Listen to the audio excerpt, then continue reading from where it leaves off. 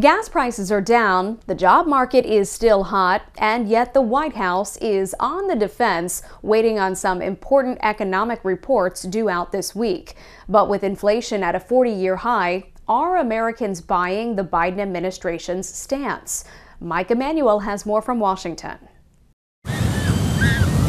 Summer vacations are in full swing with gasoline prices dropping, travelers packing the roads, skies, and beaches, and that's exactly what the White House is hoping for as the Biden administration downplays recession fears. This is not an economy that's in recession, but we're in a period of transition in which growth is slowing, and that's necessary and appropriate. Multiple key reports coming out this week should give us a clearer picture of our economic standing.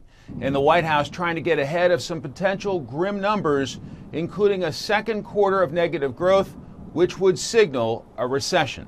We can't fix a problem that we don't think exists. But Americans are questioning the rosy picture the Biden administration is painting as they pay more to dine out or fill their grocery carts.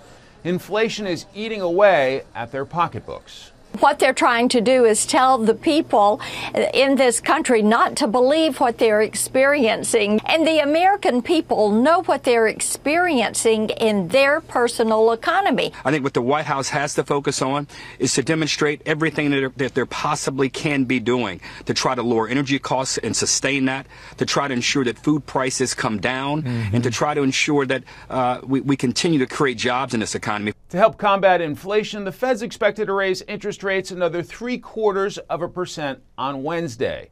In Washington, Mike Emanuel, Fox News.